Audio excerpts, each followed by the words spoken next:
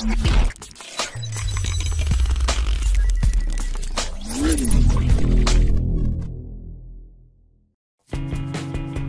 Award winner Eddie Redmayne thinks the idea of condemning the people designated to Hufflepuff is bad.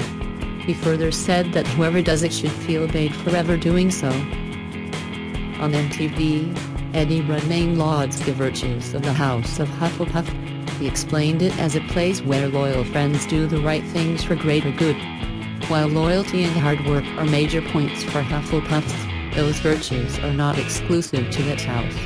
Harry, Ron and Hermione personify these traits in spades. They had arguments and rifts but in the end they came together to overthrow Voldemort.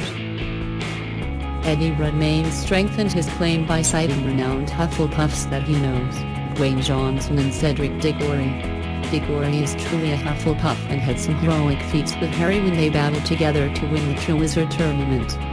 But Dwayne The Rock Johnson is no Hufflepuff at all. His muscle technically disqualifies him.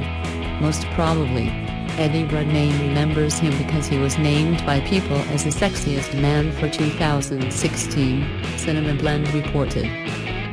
At the end of the day, there is still little indication to claim that Hufflepuff is the best house in Harry Potter world. There is a need for a whole lot of data to be included in this equation for that statement about Hufflepuff to work. On Thursday night Fantastic Beasts and Where to Find Them premiered. With four more movies coming after the Fantastic Beasts, maybe Newt Scamander can prove that Hufflepuff is the best house after all. Yet, Albus Dumbledore will be given importance as the film progresses. Aside from the point of view of Eddie Redmayne, we will not be so sure. As always, it will be Gryffindor who will save the day.